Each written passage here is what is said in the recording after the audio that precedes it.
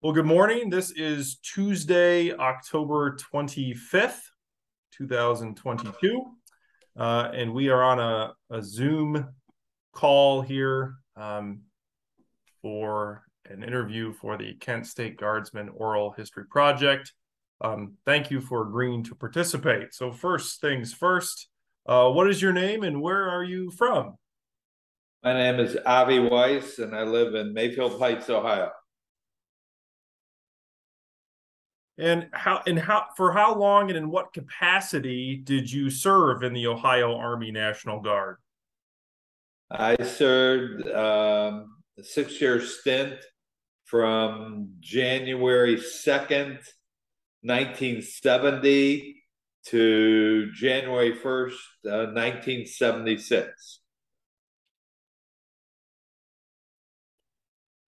And do you recall the units that you served with? When I initially started, it was the 107th Armored Armored Cavalry. Uh, I believe it was D unit or D group. Um, after a year and a half, I transferred to, at that point, it was the 107th um, Medical Unit. Uh, then they changed the name to the 112th Medical Unit or Medical Group. Mr. Weiss, why did you join the National Guard? Well, uh, I had signed up for the National Guard as a fluke. Um, Vietnam was going fast and furious. I was in college, but I still signed up, um, kind of to hedge my bet. When the first lottery took place, uh, I was very lucky and I hit number 57. Uh, that was not a very good number since they went to 200 and something the first year of the draft. So it became obvious that I was going to be in the Army. And the day after the lottery took place, I got a call from the Ohio National Guard saying that my name was finally at the top of the list. Am I interested? Needless to say, I was interested.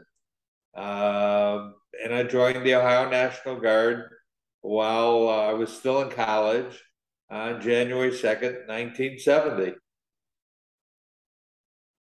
Uh, and so, wh- where were you for uh, for college at the time? What were you doing during your years in the guard? I was at Cleveland State University. I was in social work school. Um, I was in, I think, my second year or third year. And uh, I just returned to the country. I was overseas uh, in Israel for a year studying. And uh, they had called.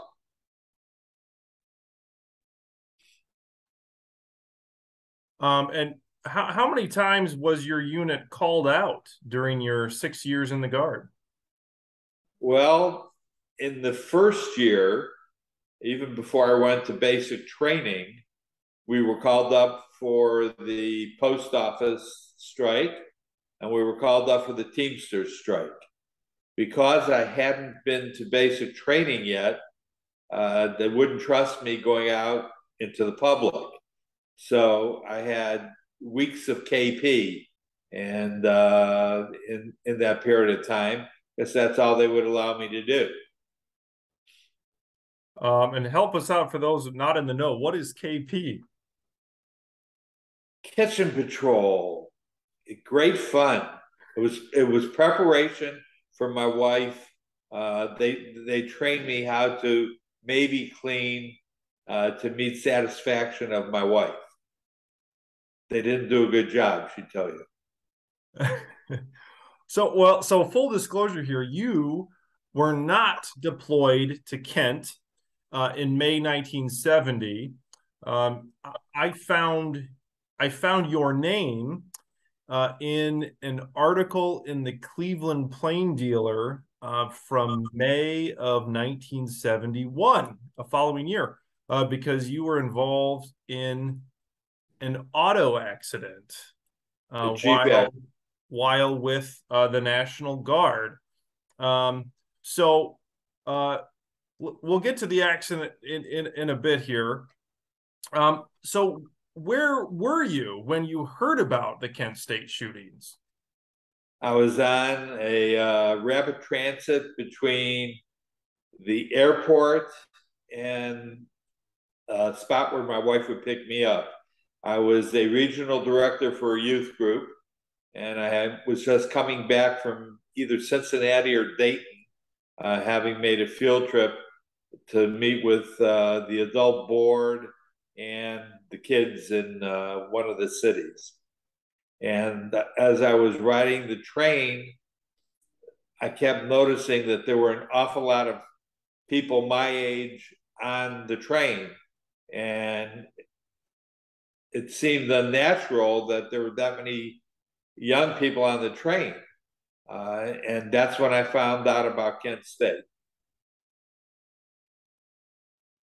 Do you remember your initial reaction to this news?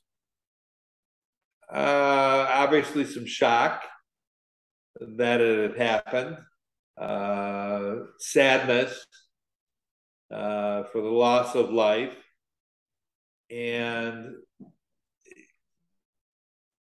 knowing that it was the National Guard that was out there, I had ambivalent feelings because I was a member of the National Guard and I was a college student.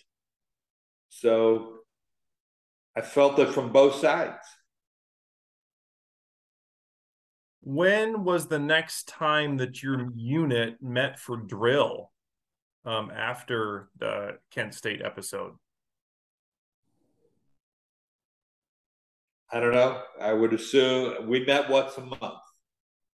Um, Kent State was the beginning of the month, and I don't remember at this point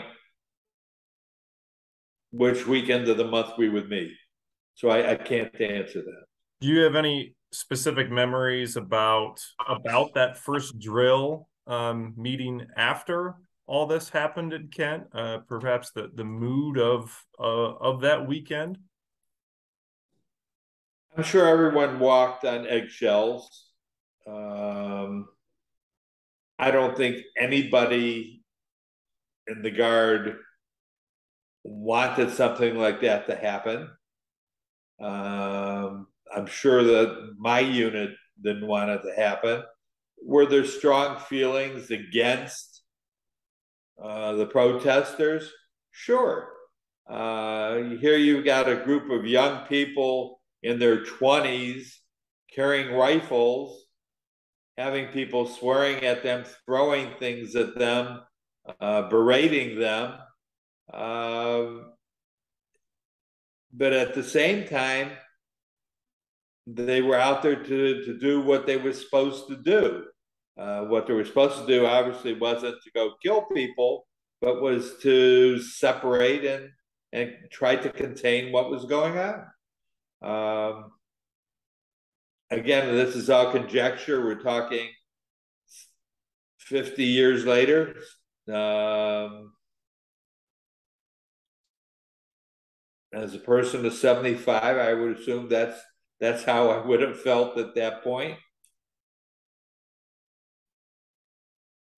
Mr. Weiss, do you recall any uh, you know the media coverage of of Kent or the National Guard kind of in the months or or even the years after that, kind of during the the rest of your time in the Guard? Well, obviously, people from the Guard were restricted from speaking to the press. Um, that would happen today too. Uh, if you if you want to find out something, go talk to uh,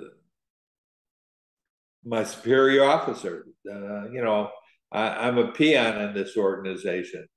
Um, I'm not supposed to speak with you. And for the most part, especially after Kent, I don't think that if someone would have come up to me, there's no way I would have spoken to them. Uh, number one, you'd have the retribution of the guard if, if you did talk to them. And number two, if you did speak to the press, all you're doing is is is expressing your own personal view. Uh, you're not talking for the for the guard, and shouldn't be taken as this is the the position of the guard. Mr. Weiss, you were you were in Cleveland uh, when um, the investigation and trials uh, occurred at at the uh, federal courthouse there. Um, how closely did you follow um, these proceedings? I followed them just because, again, I was a college student and also as a member of the Guard. So I, I did follow them. Um,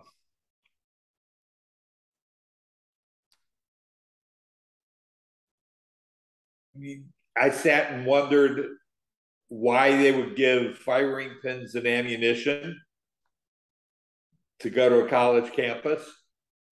Um, it, there's no reason for that. But at the same time, nobody knew what was going to happen. Nobody knew if there was going to be violence, if there wasn't going to be violence it was a no-win situation for both sides. Mr. Weiss, I found your name in this uh, article about uh, a vehicle accident, a Jeep accident. And this is in May of uh, 1971. The headline here is Two Guardsmen Injured Seriously. Um, thankfully, you were not one of the two seriously injured, but but your name appeared here in this uh, in this article. Um, can you tell us what happened? Okay, I was NCO of training, and I was riding in uh, a vehicle. There were five people: the driver, um, the lieutenant who was in charge of training, a sergeant, myself, and a young guy who was regular Army, and evidently, when they came back from active duty, had to spend one summer uh, attached to a guard unit uh, to f- fulfill a requirement. So the sergeant was riding in the back seat of the Jeep. Myself and this other person were riding in a trailer. Now, it was illegal for us to be in the trailer in the first point, but the lieutenant was telling the driver, We're late, go faster. So the driver sped up, and as it was going around the turn, the trailer, which I was in, was an open bed trailer, fishtailed into a rut, caught in the rut, flipped over the Jeep, flipped over the trailer. Uh, the Jeep was totaled. They air vac out the driver and the sergeant. And the other three of us went bouncing down the road.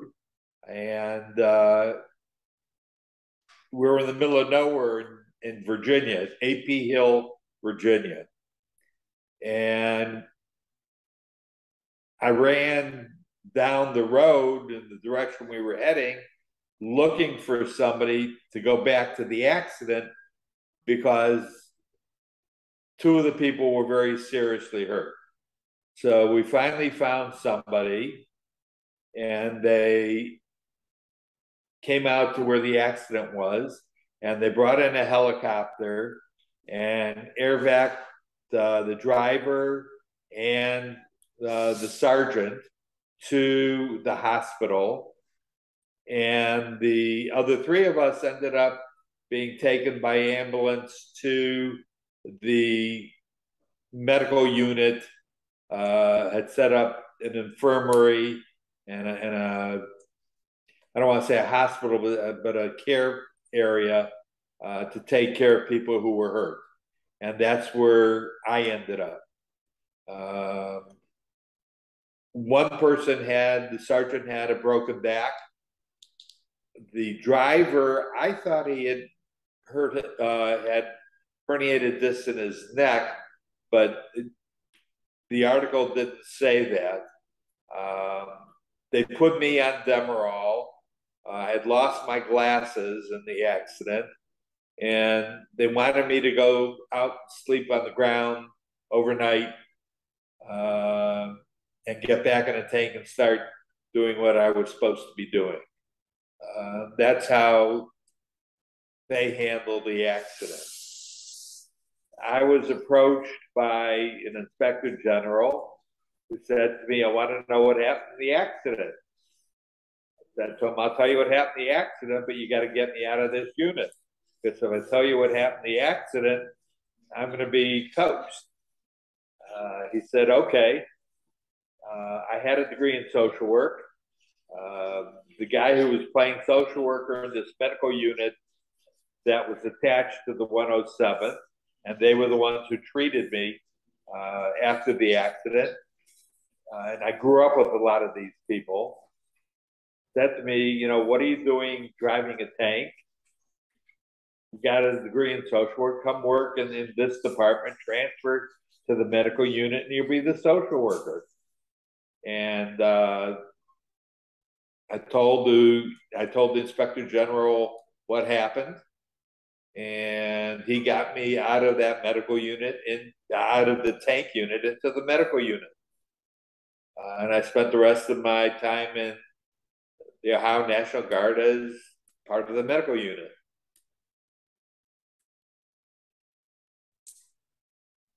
It was it was it was an interesting experience.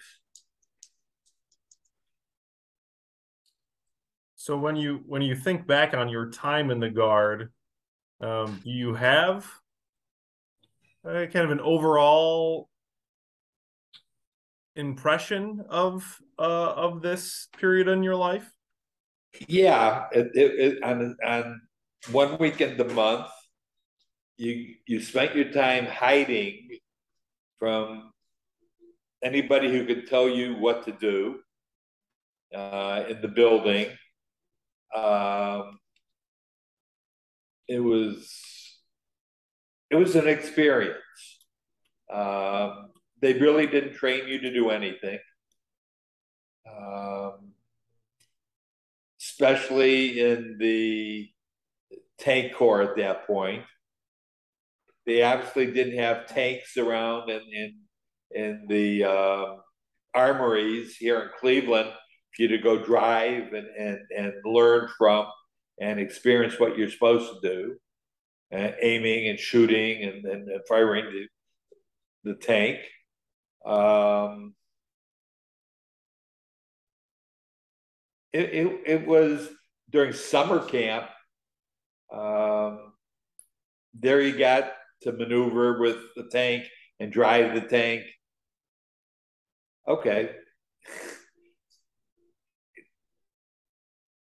it was it was an adult babysitting service with nobody babysitting you. During the summer, it was a two week vacation from work and home and your family. It was a joke.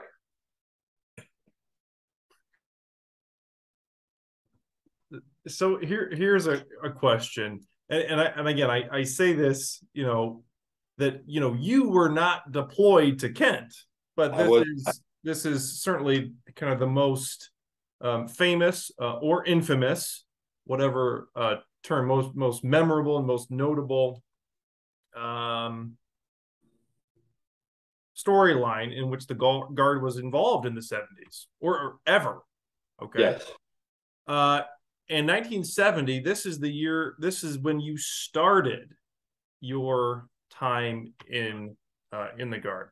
And yes. even though you weren't there, did you feel uh, any of that um,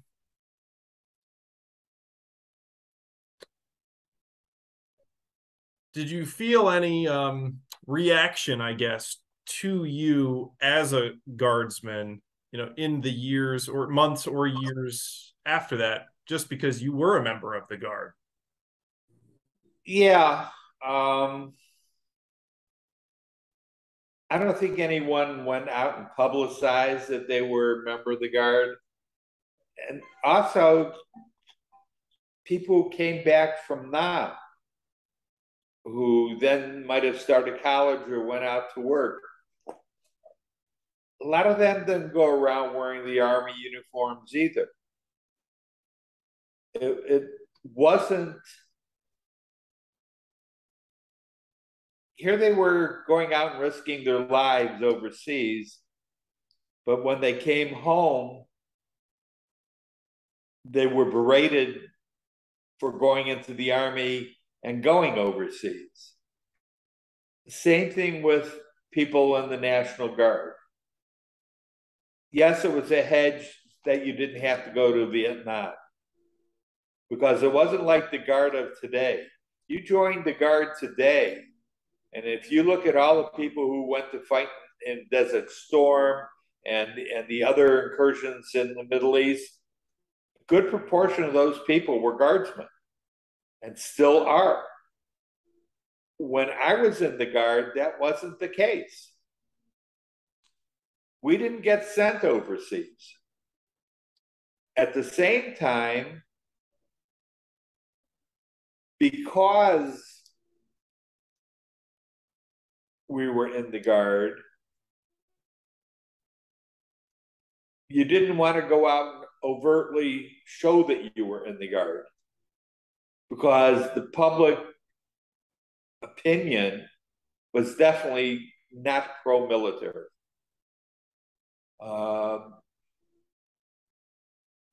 there were always people who supported the guard, and the people who supported what went on at Kent State from the guard's point of view, not the killing, but putting the guardsmen there as maybe a buffer. But you put all these guardsmen out there, and they weren't trained to be MPs. They weren't trained for crowd control. And that's a problem. Um, because you, you, you're talking 20 year olds standing against more 20 year olds. And many of the guards people, I remember walking in, in Vietnam War protest marches through Cleveland State, and I wore my guard uniform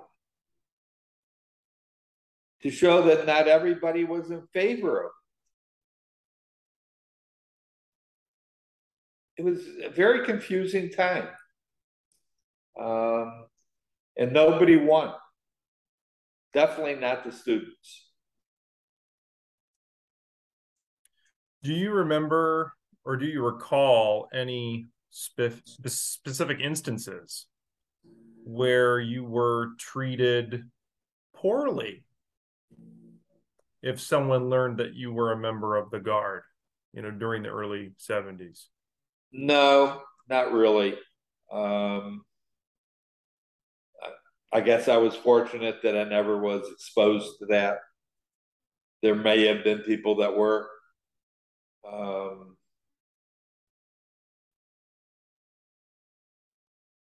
I think people understood that the people went into the guard went into the guard basically to avoid going overseas. The issue the issue comes were they trained to go out there and do what they were doing Kent State. That's the issue. Now I don't know if the units that were there, if they were armored cavalry units, or if they were military police units. That I, that I don't know. I know that my unit thankfully wasn't called up. And if we would have been called up, we would definitely not train to go out there. We were a tank unit. We weren't going to bring tanks onto the campus. So uh, I don't know. Uh, wasn't a good wasn't a good time have your feelings kind of uh, from the from the time you you know you heard about uh, the Kent State episode when you were in transit uh, till now, half century later. I mean, has have your feelings changed over the past fifty years in any way? Oh yeah. Um, listen, when when I was uh, in my early twenties, I was I was a liberal and I was uh, fighting for this and fighting for that. It, there was always a cause to fight for back then. Um, now at 75 and I look back, um, I don't want to say that I've uh, gone off the deep end and I'm totally to the right, but I'm definitely a lot more conservative today than I was then. Um, whether it, I've, you know, I, as my kids would say, I don't know how you got so smart so quickly. Um, but yeah, I'm, I'm, much more moderate than I was then. Uh, I I think I could see both sides a lot clearer today than I could in the twenties. Uh, I think I think that I think that episode was one of the most important things that happened to change society in America. Uh, as a social worker, before 1970, people were involved in groups, especially young people, uh, youth groups, uh, liberal groups aligned to this and aligned to that. After 1970, people sat back and, and said, you know, I can get killed for my beliefs now. What do I really want to do here? And I think that membership in organizations across the board, even adult organizations, membership went down. People were afraid to align themselves with something that might not be the norm or what's accepted. There's always the counterculture. We have a counterculture today too. That'll always be there. Uh, but I feel there was a big shift in society after 1970. Well, Mr. Weiss, you, you mentioned culture today. I, I might just um, ask this question. You know, in the past couple of years in this country, uh, there have been episodes of violent protest, uh, namely uh, June 2020 after the death of George Floyd, and in January 2021 at the U.S. Capitol. Uh, do you see any parallels, or, or I should say, what parallels do you see? You know, between those more recent episodes and uh, campus protests uh, during the Vietnam War era? Interesting question. I think society has evolved into more radical protests over the past 15 years. Um, I don't know how anybody could have watched what happened to Floyd uh, with somebody sitting on his neck for all that period of time, and they were recording it all, and not be moved by that. Um, I mean, it's still going on. We also didn't have, when I was a kid growing up, school shootings. They happened yesterday. They're still happening we didn't have the guns out there that we have today, the availability of the guns that are out there today.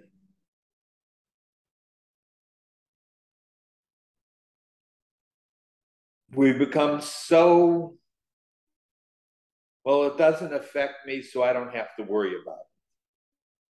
And when it hits my doorstep, then maybe then then I'll get involved. Well, it, it's affected the black community. And there are a lot of whites who also have been affected by it. There's been abuse. There will always be abuse. The key is how do you constrain and, and, and the abuse? You, you've got a Supreme Court that's now very much to the right. You had the Warren Court that was very much to the left. Why they can't come up with something in the middle is beyond me.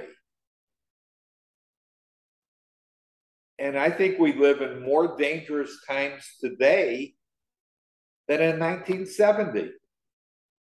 1970 was an isolated case. Yes, there were protests, there were people fighting, but there wasn't killing. You have a generation of kids who grew up playing war games on their PlayStations. And to them, killing, it's not real. So you got a kid who's 14 years old and goes out and gets a gun and kills somebody in school. That's how he grew up. My parents, when I grew up, didn't allow me to have a gun. When my boys grew up, and they're now 48 and 46, they didn't play with guns. I played with enough guns when I was in the Army for all of them. I also camped out enough in the Army for all of them. And when it came time for Boy Scouts, go find a father who wants to go camp out. This one's not camping out. But at the same time, we've we've nurtured the society that we now live in of violence. And nobody's stopping it. And that's the sad part. That's a, that's not a society that I want my grandkids to, to continue having to grow up in. And it's a shame. I went out and played at night. And I left the house at eight o'clock in the morning in the summer, came home at six o'clock for dinner, left after dinner, went out and played again. Kids today can't even go in their backyards and play, or the front yards and play without somebody watching them. Sad commentary. Hmm. And whether that came from Kent State,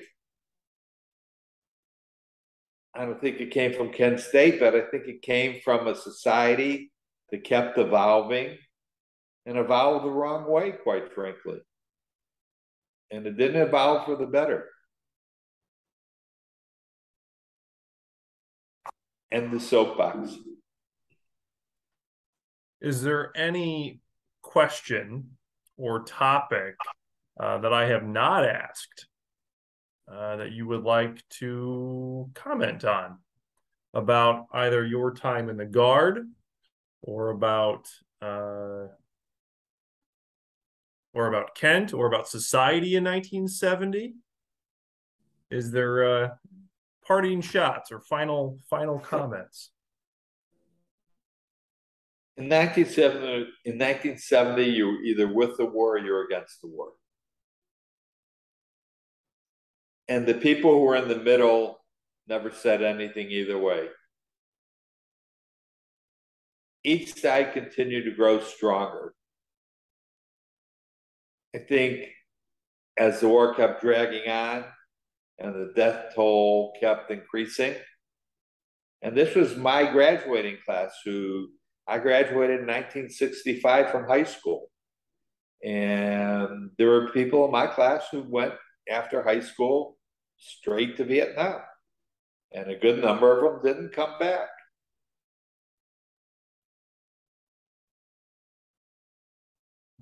The people from Vietnam, the soldiers who went to Vietnam and, and fought,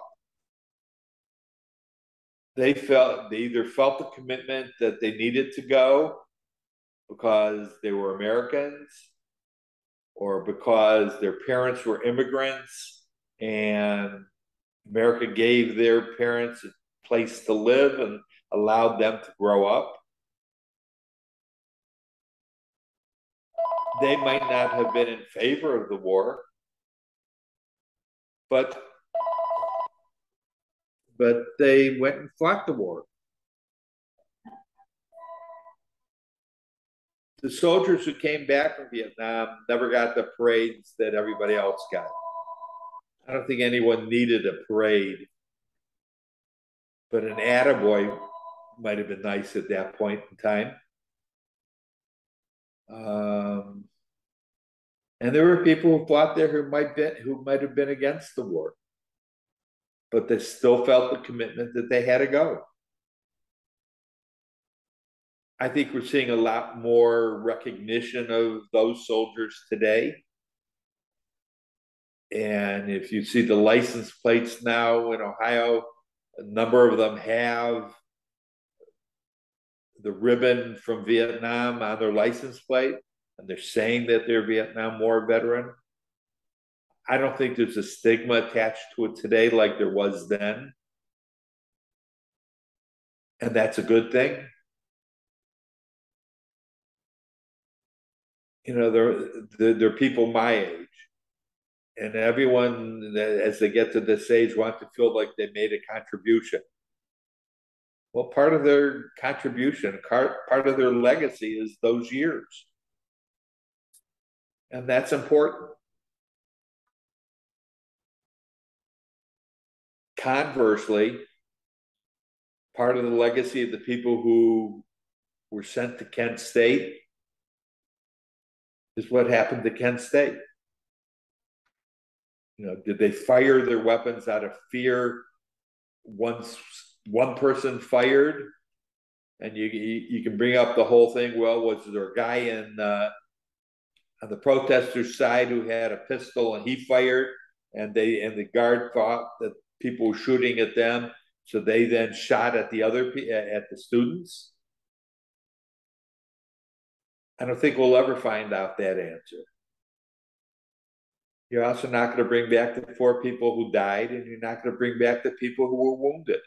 And I had a lot of friends who were at Kent State at that point, um, who were either taking pictures of what was going on, and one guy's pictures are in the library over at Kent State for the Fourth of July uh, for the uh, May Fourth uh, museum and then and, and the, I don't, I don't know what it's called at this point.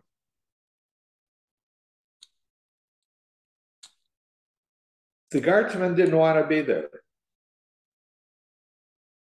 That I can tell you. I didn't like getting called up for any of the things I got called up for. Took me out of school, took me out of my home life but that was part of the commitment that I made for six years. Mr. Weiss, what what would you say to the to those members of uh you know the other members? There was another company from the 107th Armored Cavalry, you know, which was your regiment, right? Uh, that was on campus, you know, at Kent, or or the other units of the National Guard what would you say to those guys? I, I would basically say I'm sorry that you were put in that situation. I'm sorry that anyone would have been put in that situation. And that you did the best that you could do. And you can't live your entire life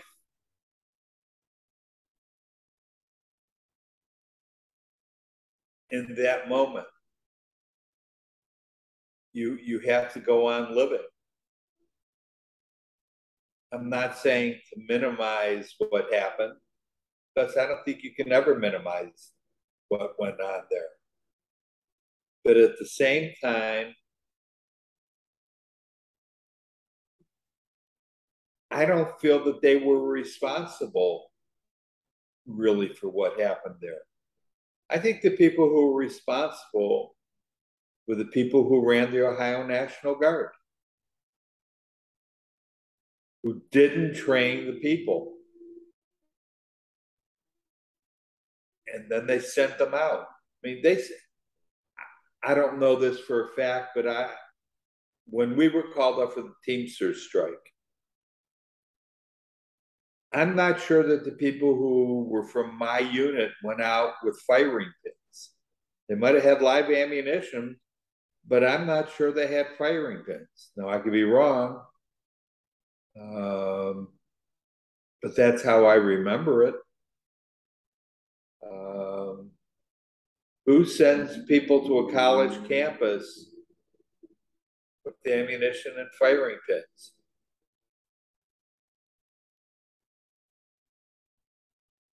We were set up to lose. And and I'm sure that what happened there affected some of these people and still affects some of these people. Now, it's one thing to go into into war and shoot at people. Another thing to go to a college campus and shoot at people. Now, today's society, with all the the games that they play on Xbox and and and all the other things, killing somebody's second nature. I've already said that because they're not real. And to a lot of these people, the people that they're killing aren't real. It's just an extension of the games that they play. And it, it's too bad. It's a society we live in. Uh, we're going to end up with everybody. It's going to be the Wild West. Everyone's going to pack and carry. In Ohio, you don't need a license anymore. Anybody can carry. You know, I go to synagogue every week. We've got a policeman standing out front, watching who comes in the door with somebody who's a member of the congregation. 50 years ago, when you went to church or you went to temple, you didn't have that problem. But we got it today because we there are an awful lot of sick puppies out there today. And it's very sad. Uh, I believe my generation was the luckiest generation. We grew up at the right time. We had families that were in most cases nuclear families, husbands and wives, and kids. You went out and played. You appreciated the fact that uh, you had the ability to go out and play. Today, you can't let your kid go out and play. It's a shame. Uh, I don't know. Is there anything else that you would like to add to this interview? No, I, I just, you know, for the, again, for the guardsmen who were there, you have a life to live, live it. I don't know if they're still reliving Kent State or not. I don't know if I would hope that, that, that they've become productive members of society since then. Uh, and for the families who lost kids there,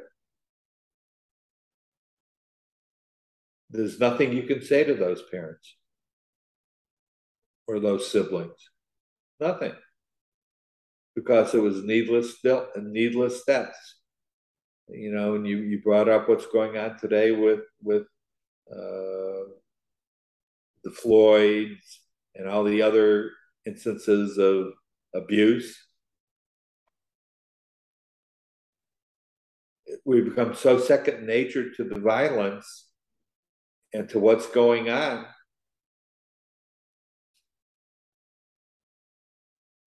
That everyone it slides off your back. And that's too bad.